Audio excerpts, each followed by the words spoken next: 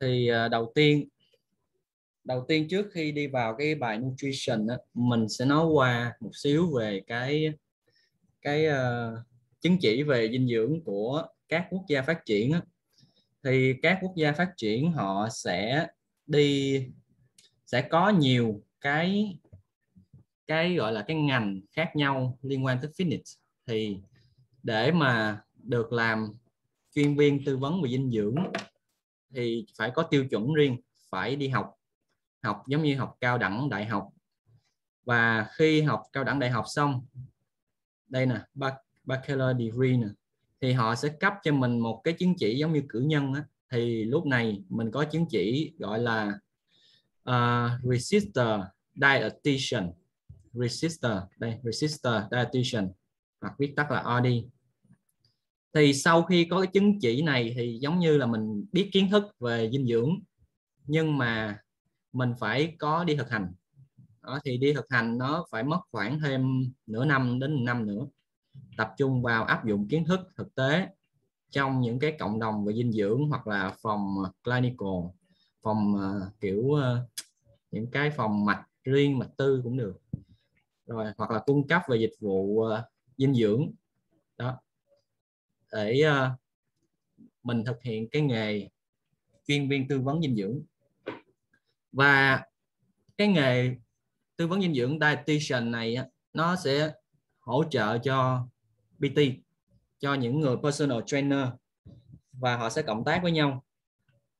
À, có thể là một người học nhiều chứng chỉ khác nhau cũng được hoặc nếu không có những cái chứng chỉ về dietitian này á, thì mình không có quyền làm chế độ dinh dưỡng cụ thể cho khách hàng mà mình chỉ được dừng ở mức đưa ra lời khuyên nên ăn cái gì thì tốt này kia thôi chứ mình không có biết cụ thể là một ngày ăn cái gì ăn bao nhiêu ha.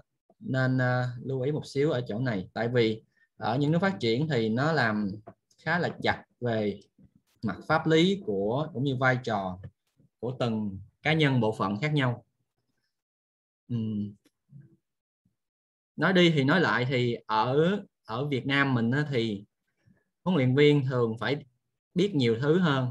Giống như vừa phải biết tập luyện sao, vừa phải biết tư vấn chế độ dinh dưỡng sao, thậm chí nhiều khi khách hàng họ yêu cầu phải cho họ thực đơn ăn uống này kia sao. Nhưng thật ra mình nhiều khi cũng chưa biết rõ là phải đưa như thế nào cho phù hợp, mà chỉ dựa trên những cái kiến thức, nền tảng chung về thay đổi lối sống tốt và biết về kiểu tính toán dinh dưỡng này kia thôi. Chứ mà đi sâu sát sao cho nó cải thiện uh, vận động hoặc là phù hợp với bệnh lý thì mình chưa đến cái mức đó. Và thậm chí là nhiều người cũng không biết những cái nguyên tắc dinh dưỡng cơ bản nên đôi khi đưa ra thực, thực đơn nó không có được khoa học. Và học dinh dưỡng bởi vì sao? Bởi vì á, do cái ngành fitness này nó phát triển nhanh và bên cạnh đó thì cái ngành mà cung cấp các các sản phẩm ăn kiêng này kia nọ, cái về ăn uống để để họ fit đó nó cũng phát triển theo. Và nó dẫn đến có nhiều cái gọi là lầm tưởng, nhiều cái lầm tưởng về cái việc ăn uống. Nhiều cái lầm tưởng về việc ăn uống. Để dịch cái này ra cho mấy bạn xem.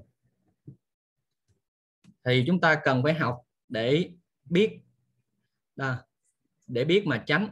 Vì cái nhu cầu của khách hàng luôn muốn giảm cân nhanh, giảm cân nhanh, giảm cân liền. Thì có như nhiều lần mình cũng nói là làm thì làm được, nhưng mà nó có lâu dài hay không? Và nó có lợi cho sức khỏe hay không? Mới là vấn đề. Hay là nó giảm đó xong rồi lúc nghỉ thì nó lại lên lại? Nó không có hình thành đúng được cái ờ, cái thói quen và cái thay đổi cái lối sống của người đó thì nó cũng coi như giống như là không có tác dụng nhiều.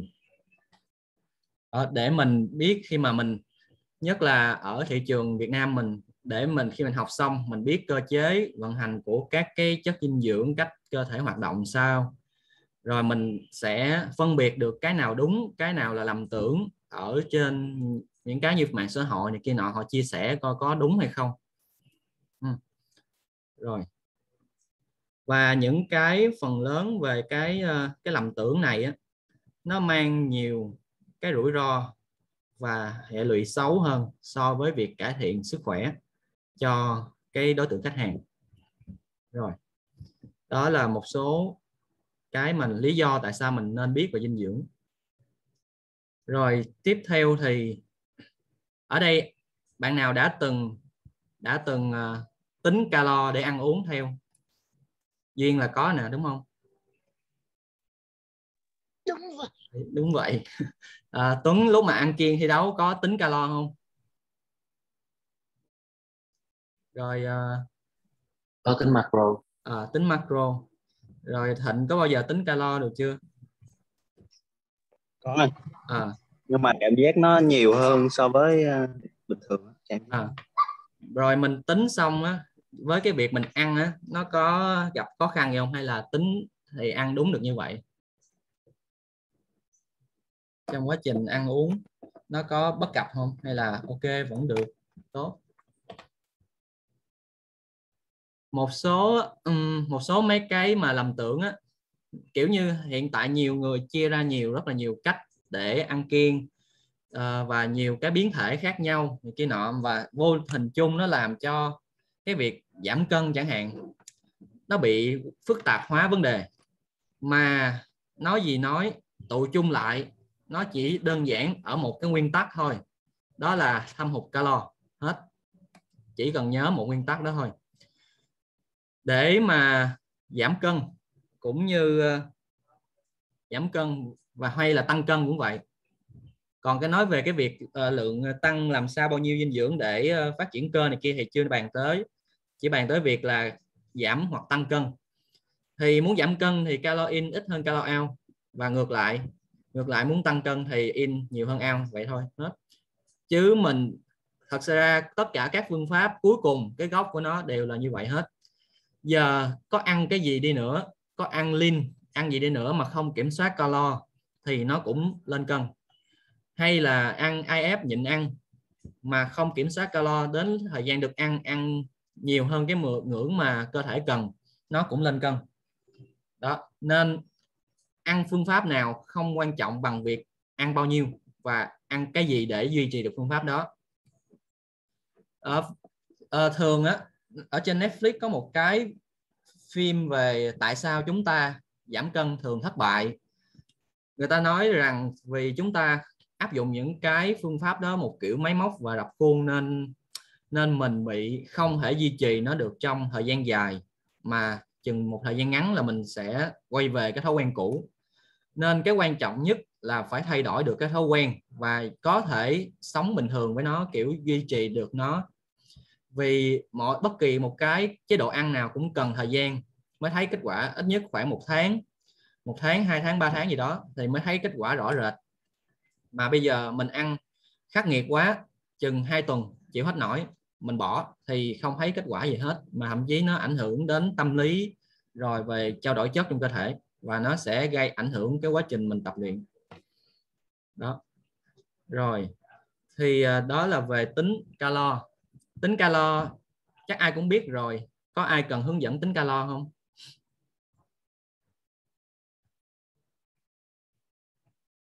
Mà thật ra là mình ăn mình cũng không có tính calo, mà mình chỉ ăn những cái gì mình thấy nó tốt thì ăn thôi. Rồi, trước khi ờ, đi vào sâu hơn thì cái năng lượng năng lượng đầu vào mình tính được. Vậy còn cái năng lượng đầu ra thì thì sao? Mình có bao nhiêu cái nguồn năng lượng đầu ra? Duyên, năng lượng đầu ra. Liệt kê. Uh, năng lượng tiêu hao nè vận động nè với lại um, có hai cái à, cái gì nói đi tiêu hao vận động với gì? T, TF với lại cái uh, vận động TDE ha rồi yeah. hai cái rồi ok. Rồi thịnh có bao nhiêu năng lượng đầu ra? Mình đầu vào thì mình biết rồi mình tự ăn uống thôi. Vậy đầu ra thì mình sẽ dùng cái gì để cho nó giảm ba ba cái. À, ba cái gì? Như là ba cái một là vận động nè ừ. uh, ờ, BMR nè à. rồi uh, TEF nè. TEF em okay. nhớ hình như có có một cái nữa. Hình như có một cái nữa là NIT vậy NE NIT nhớ. ok. Rồi. Rồi nói về uh, calo. Một số à, trước hết nói về mấy cái đơn vị calo. Hôm trước cũng có nói trong group rồi calorie mà đếm theo đơn vị mà để chữ C nhỏ này á thì là một calorie một đơn vị nhỏ nhất. Còn calorie mà viết hoa lên á, là 1.000 calo.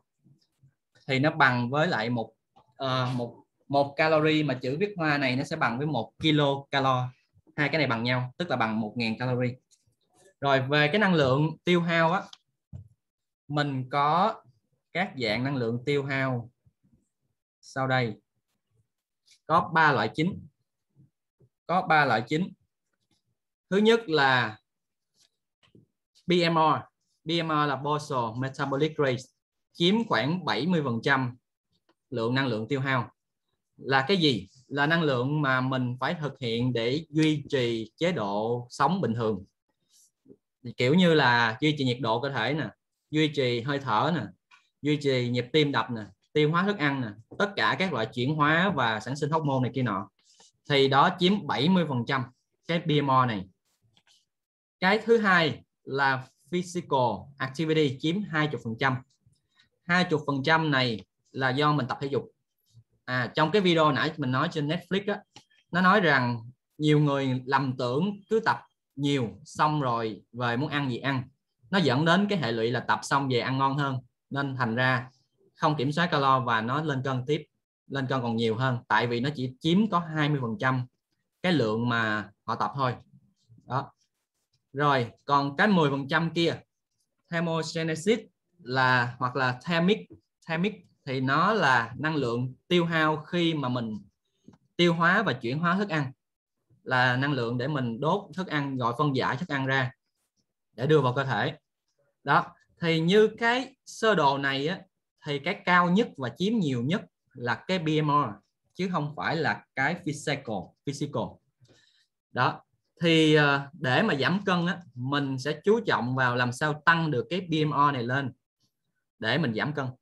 À, chứ mà kiểu cứ ráng tập nhiều nhiều nhiều thì thật ra cơ thể nó chưa kịp chưa kịp gọi là giảm được bao nhiêu thì về mình ăn rồi mình bị kiệt quệ cái sức của mình nó còn nhiều hơn nữa. Nhưng mà không thể không kể đến cái cái vai trò tốt của cái việc tập. Cái việc tập giúp cho nó đẩy cái bimo này cao lên.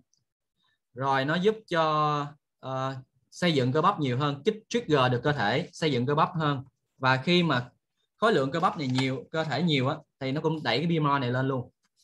Bên cạnh đó uh, có bạn nào nghe về cái cụm từ OMR chưa?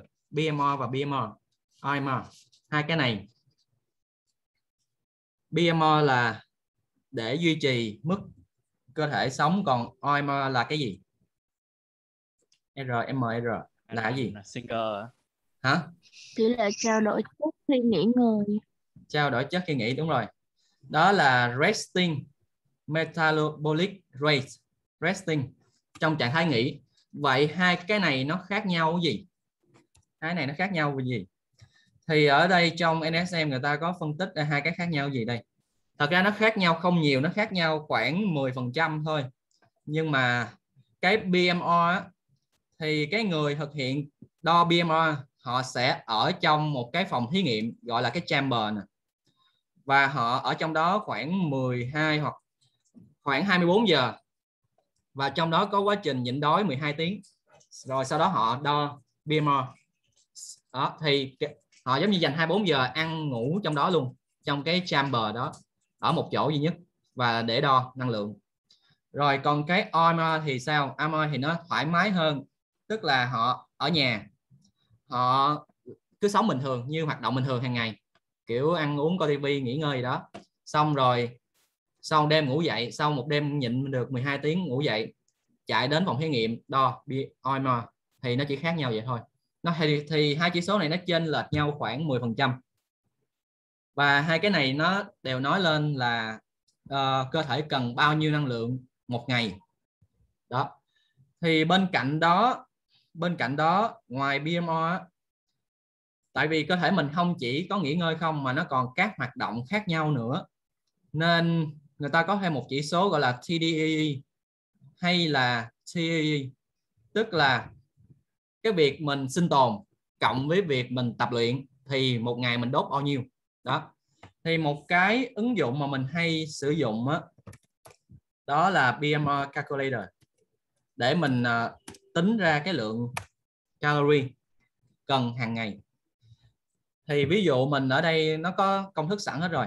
Cứ điền vô ví dụ 27 tuổi rồi giới tính rồi chiều cao 1m72 chẳng hạn. Rồi cân nặng hiện tại cho 75 đi thì khi mà tính ra, nó sẽ ra được cái BMR của mình. Các bạn thể thấy BMR nó khoảng dao động 1.600 nhưng, tùy coi mình ở cái ngưỡng tập luyện như thế nào. Ví dụ bạn tập, là người không tập luyện, thì bạn phải cần năng lượng 2.000 rồi, còn ví dụ mình tập 1 đến 3 lần tuần, thì 2.300 ví dụ mình tập gần như 5.000 tuần, thì là 2.400 còn tập mỗi ngày hoặc là tập cường độ cao, thì nó khoảng, mất khoảng 2.600 mình biết cái CDEE này để làm gì? Để cho mình nạp calo cho nó đủ.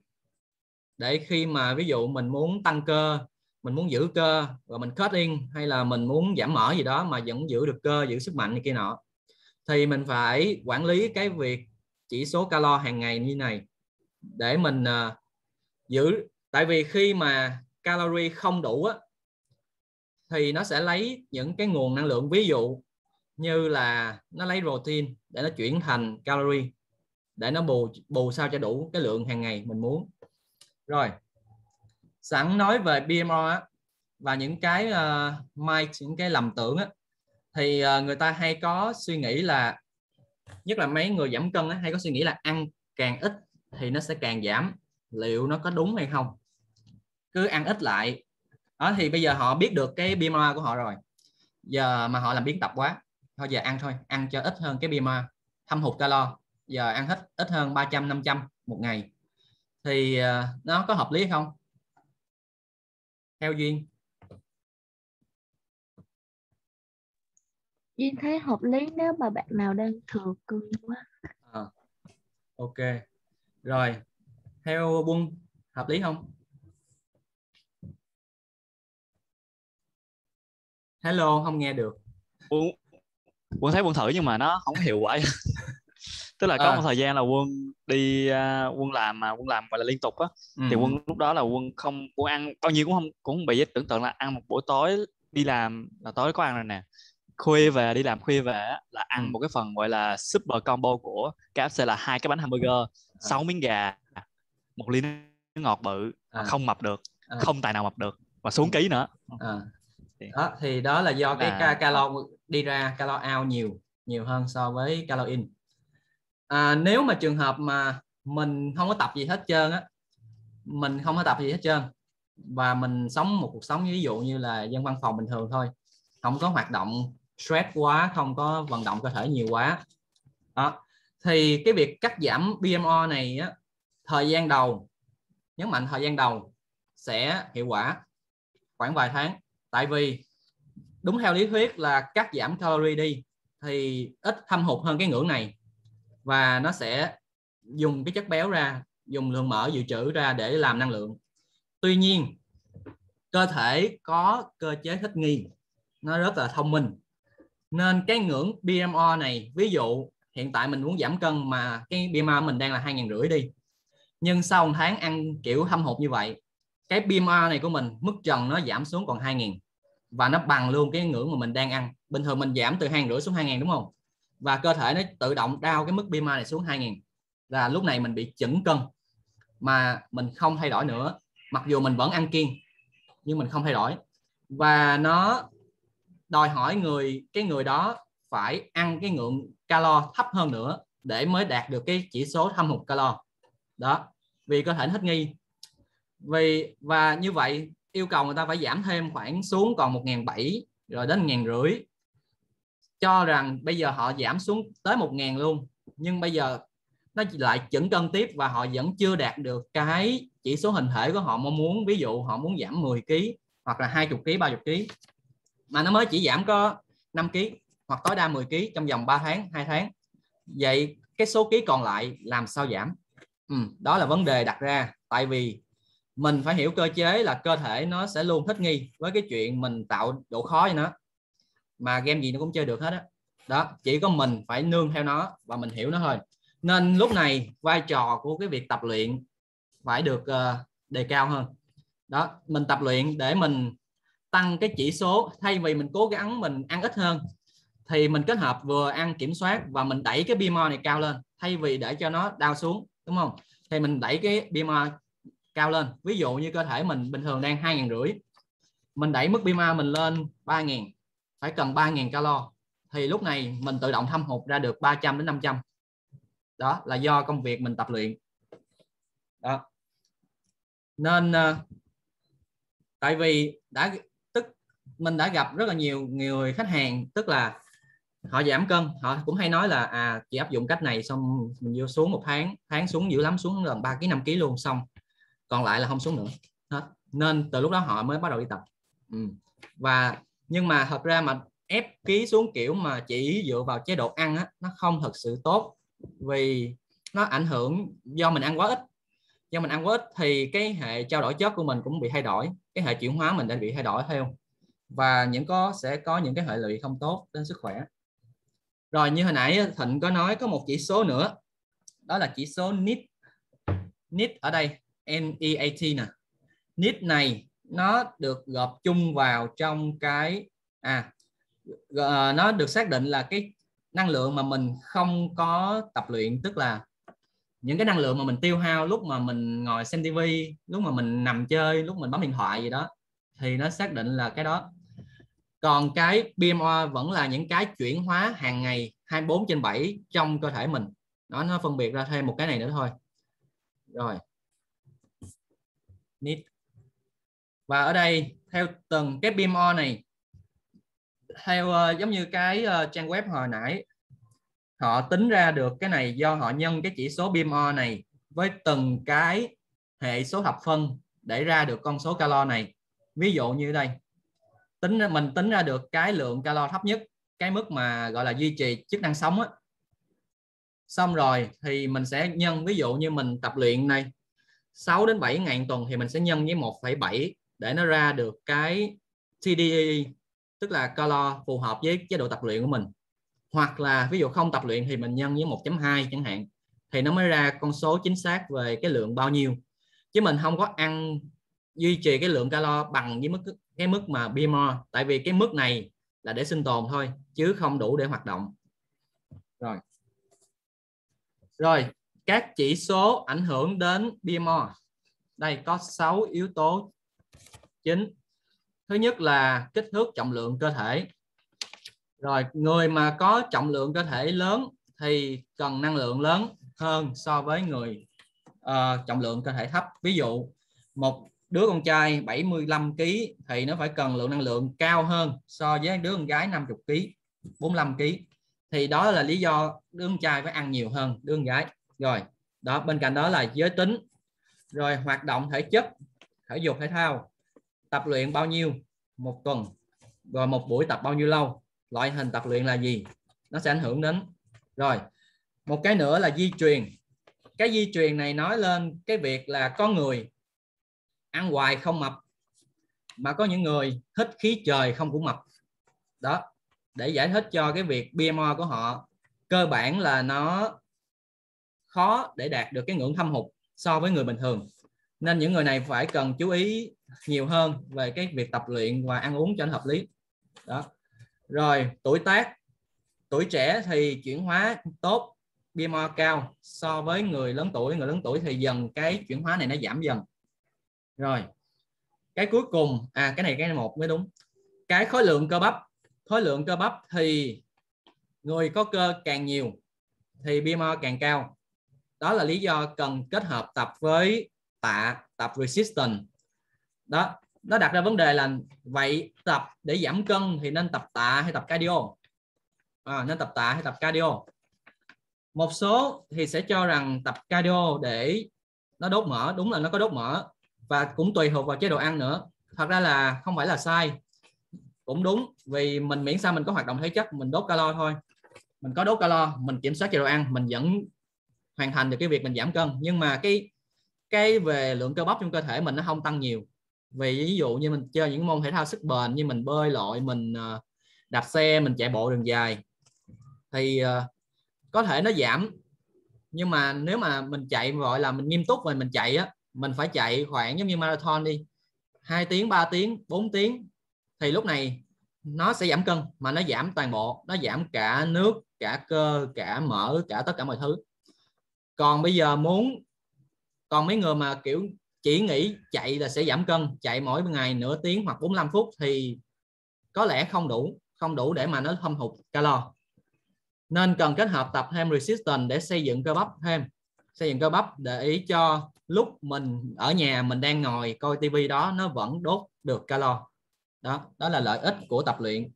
Bên cạnh đó, tập luyện cường độ cao, ví dụ như high intensity cũng là một cách để mình à, áp dụng cái mà epoch á. Đó, tập những cái bài tập và ăn uống để thúc đẩy cái chỉ số epoch đó thì nó giúp cho chúng ta sau cái thời gian tập luyện nó vẫn đốt calo. Đó. thì đây là sáu cái sáu cái yếu tố ảnh hưởng đến chỉ số BMR rồi về tính calorie. Ok đã nói qua rồi. Rồi bây giờ tới ăn uống. Ăn uống theo các bạn là cơ thể mình bắt đầu cái việc ăn nó như thế nào? Bắt đầu cái việc ăn như thế nào? À, nói sao ta? Cái việc ăn giống như là nó gồm những cái bước nào khi mình khi mình thực hiện cái việc ăn ở ngoài và ở trong cơ thể? À, theo quân. À, là mình à, bỏ thức ăn trong miệng nhai à. rồi nuốt rồi mình tiêu à. hóa à. xuống bào tử bắt đầu break ăn ra à. rồi có thể tiêu, nói là cái quá trình tiêu hóa nó diễn ta. ra thế nào tiêu hóa thành những nhỏ hơn đúng không à, cái quá trình tiêu hóa diễn ra như thế nào ừ. bắt đầu cho đến khi kết thúc theo hình dung là mình sẽ chia nhỏ thức ăn xong đưa vô cho nó tiêu hóa rồi à, thì muốn hình dung đơn giản đó là bỏ thức ăn trong miệng mình nhai thì trong đó là bắt đầu có enzyme đã bắt đầu break đồ ra một tí à. rồi okay. thì mình có như nhai là như nghiền sơ rồi xuống bao tử rồi xuống có có axit sẽ phân okay. hủy phân phân nó ra nữa. Okay. rồi cái đó sẽ đi tới uh, ta rồi được hấp thụ cái chất dinh dưỡng sẽ được hấp thụ. Okay. rồi sau những phần còn lại thì được chuyển qua ruột già hấp thụ nước hay là một lần cuối nữa rồi mới ra thành uh, phân. À, ok. Ok. À, duyên có bổ sung gì không? Không không không bổ sung gì thì giờ nhai nhai okay. ra sau nuốt à. hưng hởi hưng hởi thức ăn hơn ok rồi à, có anh Hiền nè hello anh Hiền anh Hiền có suy nghĩ gì về quá trình mình tiêu hóa à, hello mọi người nha à. hai bữa đầu uh, giao kênh của phát à. Uh, ý kiến của anh uh, ý kiến của anh về tiêu hóa là thì cũng như, như quân nên bổ sung thêm số ý kiến. Ví dụ thức ăn mình ăn vô miệng thì mình được nghiền nát uh, mọi người có nghe rõ không? Nghe nghe nghe anh nói đi anh nói đi. Mình được uh, nghiền qua răng miệng rồi uh, xuống, xuống uh, co bóp uh, của cơ bao tử. À. dịch axit của bao tử. Rồi, rồi uh, một số ví dụ protein sẽ được hấp thụ ở bao tử nè. À. uh, một số khác thì uh, mình sẽ đến ruột non đúng không đúng rồi. Và nó sẽ có những cái men uh, men vi sinh. À. sữa rồi uh, sữa chua các loại đường nè thì mình hấp thụ ở ruột non. À. sau đó đến ruột già để hấp thụ nước và và và các cái phần còn lại và sau đó thải chất xơ ra ngoài. À. ok. Rồi cảm ơn. Thank you anh. Rồi uh, quá trình tiêu hóa của mình á nó sẽ diễn ra từ lúc mình nghĩ về cái món đồ ăn đó quá trình tiêu hóa của mình nghĩ diễn ra từ lúc mình nghĩ về món đồ ăn đó, tức là nhìn đồng hồ 12 giờ tới giờ ăn rồi, bắt đầu báo hiệu lên hệ thần kinh, tiết ra những cái enzyme, những cái hormone gây đói, tạo ra cơn đói. Thì quá trình tiêu hóa diễn ra ngay từ lúc đó. Ví dụ như cái hình này, đây, từ hệ thần kinh mình, hello, quả táo này nhìn ngon quá. Đây là bắt đầu nói xuống cái cơ thể mình là phải bắt đầu sản sinh ra các enzyme đi. Rồi dịch dạ dày bắt đầu tiết ra để chuẩn bị cho quá trình ăn vào. Thì đấy, cái này cũng là nói lên cái việc là hôm qua mình có đọc một cái bài về những đứa trẻ hay đi ăn rong á, tức là cứ ẩm nó đi vòng vòng vòng rồi cho nó ăn cho nó ăn rồi cứ dụ à những này những kia rồi ầm cái đút cái nuốt. Thì dẫn đến cái chuyện là nó đang ăn thụ động tức là nó không có nghĩ đến cái việc là nó đang ăn mà nó bị ép ăn. Đó nên cũng liên quan giống như là mình vừa ăn vừa xem tivi hoặc là vừa chú ý một cái gì đó khác hoặc suy nghĩ cái gì đó khác.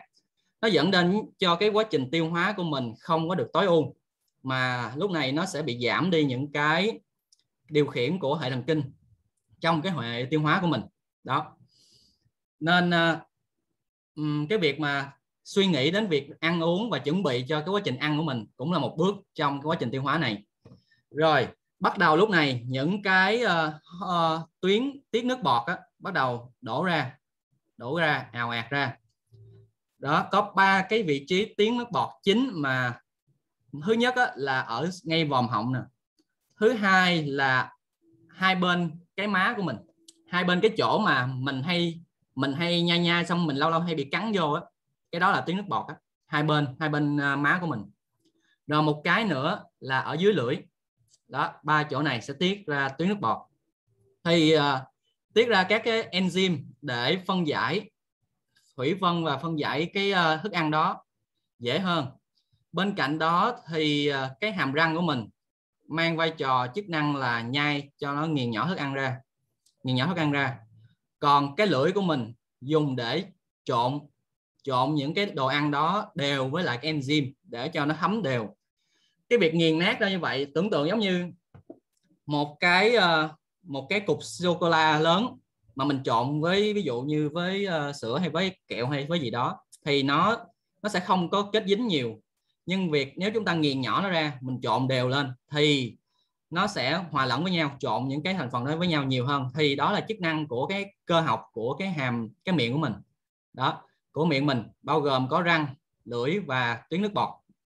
Đó rồi tiếp theo nó sẽ đi xuống cái uh, thực quản theo cái sự co bóp của thực quản. Đẩy thức ăn đi xuống.